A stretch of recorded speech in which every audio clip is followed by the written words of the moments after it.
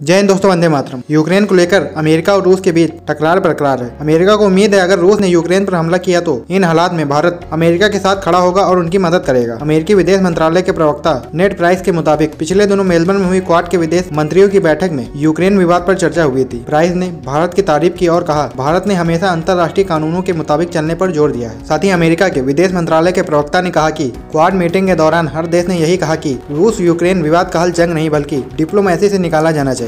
सभी को इंटरनेशनल कानूनों के हिसाब से चलना चाहिए। पैसिफिक ओशियन का मामला हो या यूरोप का या या फिर दुनिया के किसी और हिस्से का। हम जानते हैं कि भारत हमारा हर उस मामले में साथ देगा जो कानूनन सही है। प्राइस ने साफ़ कहा कि क्वाड मीटिंग के दौरान अमेरिका के विदेश मंत्री एंटली ब्लिंकन और भारत के एस जयशंकर के बीच डिफेंस मामलों पर अलग से लंबी बातचीत हुई। हालाँकि उन्होंने इन सवालों का जवाब देने से परहेज किया कि रूस से S four missile defence system खरीदने पर स्पेशल एक्ट के तहत प्रतिबंध लगाए जाएँगे या नहीं। यूक्रेन का ईस्टर्न पार्ट रूस के बॉर्डर से लगा हुआ है। यूएसएसआर के उन्नीस सौ बानबे में डिडक्शन के बाद अधिकांश रूसी मूल के लोग यूक्रेन में बस गए थे। इस वजह से दोनों देशों के बीच आपसी तालमेल बेहतर था। लेकिन 2014 में रूसी राष्ट्रपति व्लादिमीर पुतिन के करीबी क्विटर यानोकोविच की सत्ता चली गई। इसके बाद ही रूस और यूक्रेन के संबंध बदतर होते चले गए। साथ ही सन 2014 में रूस ने यूक्रेन का एक पार्ट क्रीमिया पर हमला कर इसको कब्जा लिया था। क्रीमिया पर रूस के कब्जे के बाद यूक्रेन ने वेस्टर्न देशों से दोस्ती बढ़ानी शुरू की। ताज़ा विवाद यूक्रेन के नाटो यानी कि नॉर्थ अटलांटिक ट्रिटी ऑर्गेनाइजेशन में शामिल होने की खबर से शुरू हुआ है। यूक्रेन के नाटो में शामिल होने की अटकलों से नाराज़ रूस ने सीमा पर लाखों सैनिकों की तैनाती कर दी। आई होप आप सभी को वीडियो पसंद आई होगी। अगर वीडियो पसंद आई है तो चैनल को सब्सक्राइब करके वीडियो को लाइक करना मत भूलिएगा।